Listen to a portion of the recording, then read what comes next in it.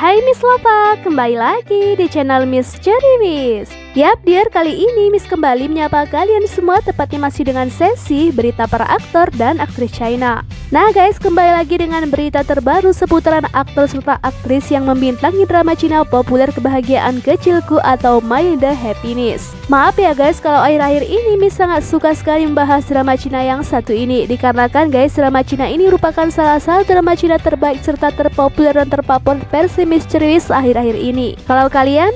Nah, Miss Lova, kita akan membahas tentang tanggapan dari Dadi Tang selaku pemeran utama pria dalam drama Cina My Happiness yang dianggap telah berhasil mengalahkan Lini. So guys, berita yang akan kita bahas kali ini yaitu mengenai reaksi lucu serta tanggapan dari Dadi Tang atau Tang Xiaotian selaku perutama pria dalam drama Cina My Little Happiness. Kira-kira bagaimana ya tanggapan serta pernyataan dari Dadi Tang ketika netizen berdiskusi bahwasannya ia pun telah berhasil mengalahkan aktor tampan Lini. Karena guys, semenjak awal penayangan drama Cina My Little Happiness serta drama Cina itu mendapatkan popularitas yang sangat luar biasa, maka timbullah isu yang sempat trending, yakni tanggapan pengungkapan bahwasannya Dadi Tang pun telah dianggap mengalahkan Lini. Seperti yang kita ketahui bersama bahwasannya Xing Pei serta Tang Xiaotian atau Dadi Tang sama-sama telah membintangi drama Cina Put Your Head On My Shoulder yaitu drama Cina romantis yang juga sangat populer pada tahun 2019 yang lalu. Dalam drama tersebut, Dadi Tang pun memerankan karakter pria kedua atau second lead yang bernama Pu Pei yang mencintai karakter utama wanitanya yang diperankan oleh Xing Pei. Tentu saja guys, dikarenakan Dadi Tang merupakan pemeran pria kedua keduanya, maka keduanya pun tak dapat bersama dikarenakan si Tumu yaitu karakter yang diperankan oleh Pei telah memilih Gui yang diperankan oleh aktor tampan ini. Sehingga uniknya sejak awal yang telah menjadi perbincangan hangat yaitu dalam drama Cina terbaru tahun 2021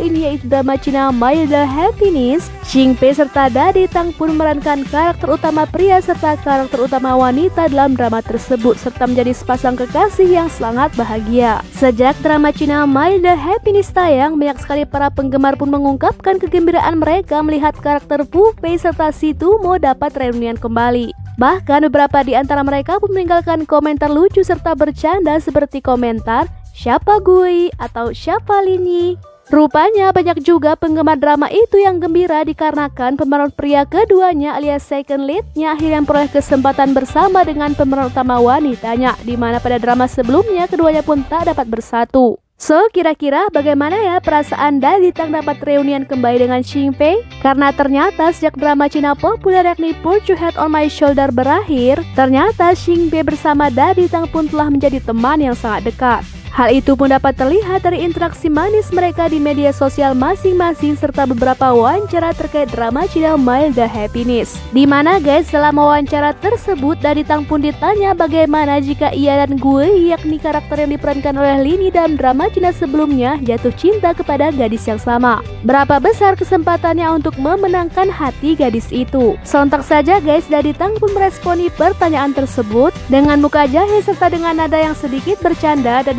Pun merespon, jika bukan karena naskah Put Your Head On My Shoulder yang memihak kepadamu, apakah kamu bisa merebutnya dari genggamanku? Ia pun mengarahkan pernyataan tersebut pada aktor Lini. Kemudian nih guys, dalam pertanyaan lain dari wawancara yang sama pada hari tersebut, sang reporter pun juga bertanya, saat ini kamu bekerja kembali dengan Xingpei. Xingpei telah berubah menjadi wanita yang tak dapat kamu miliki, tapi sekarang berubah menjadi pacarmu. Apakah perubahan ini benar-benar memuaskan hatimu? Kemudian dengan sigap Dadi Tang pun merespon, Puas, tentu saja puas, aku harus merebut kembali hal-hal yang hilang.